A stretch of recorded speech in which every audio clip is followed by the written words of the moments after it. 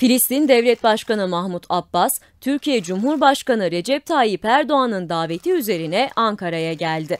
Türkiye, İsrail saldırılarının başladığı günden bu yana bölgedeki gelişmeleri yakından takip ederek diplomasi trafiğini yoğun bir şekilde sürdürüyor. Gazze'de ise Ramazan ayı öncesi ateşkes konusunda taraflar görüşmeleri sürdürürken Cumhurbaşkanı Erdoğan, Mahmut Abbas'ı 7 aylık bir aranın ardından Beştepe'de konuk etti. Cumhurbaşkanı Erdoğan ve Filistin Devlet Başkanı Abbas ikili görüşme gerçekleştirdi.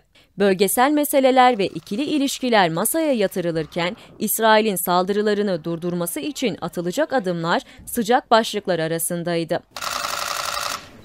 Görüşmede iki devletli çözüm arayışı da ele alındı. İki liderin baş başa görüşmesinin ardından ortak basın toplantısı düzenlendi. Ve teşekkürlerimi istiyorum. Erdoğan'ın gündeminde Gazze'ye insani yardımların kesintisiz ulaştırılması için atılan ve atılabilecek adımlar vardı. İnsani yardım noktasında bugüne kadar toplam 37 bin tonu aşkın malzemeyi gemiler ve uçaklarla bölgeye sevk ettik. Ayrıca 900'den fazla hasta ve refakatçiyi tedavi için Türkiye'ye getirdik. Gazze'deki bir sahra hastanesi kurulması için çalışmalarımız devam ediyor. Filistin mültecilerine yardım ve Bayındırlık Ajansı'na yaptığımız mali ve ayni yardımları artırdık.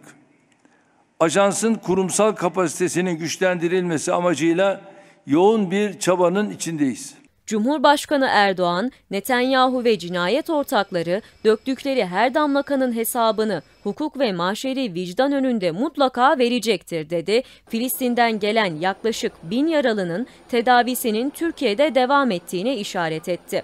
Toplantıda konuşan Erdoğan, Türkiye'nin garantörlük çağrısını da yineledi. Artık sadece lafta kalan barış çabaları yerine teminatlara sahip adil bir barışa ihtiyaç duyulduğu apaçık ortadadır. Türkiye olarak bu bağlamda garantörlük mekanizması çerçevesinde sorumluluk üstlenmeye hazır olduğumuzu açıkladık.